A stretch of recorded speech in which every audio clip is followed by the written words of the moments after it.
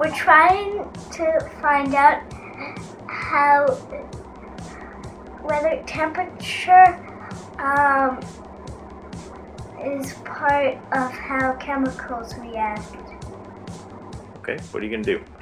Um, so we're gonna crack these glow sticks. Okay, And what do you have there?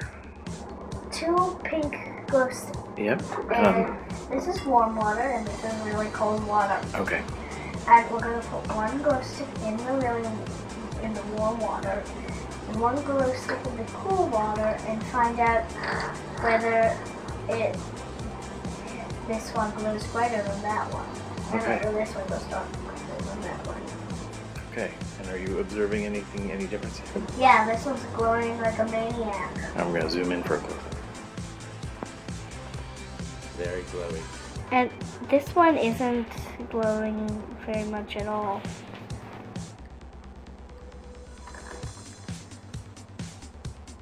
Wow, big difference. Yeah. Okay, now what happens if you switch them around?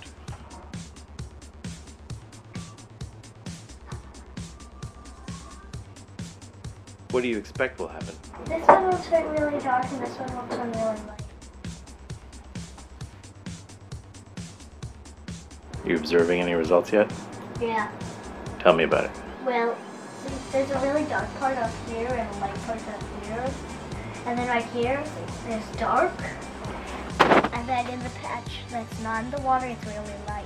And why do you think it's like that? Because it's keeping its heat. And what is the heat doing to the reaction? It's making it warmer and therefore more glowy. So, you feel like you, kimchi. it's a it's a kimchi container. So, is your experiment concluded? Yeah. And tell me what you've concluded. I've concluded that heat action at uh, temperature is very important to have glow sticks glow. Hmm. So, do you think glow sticks kept in the freezer would glow? Very. Yeah. And glow sticks, if you threw them in the oven? Oh yeah. Yep. We won't do that though. All right, you want to sign off?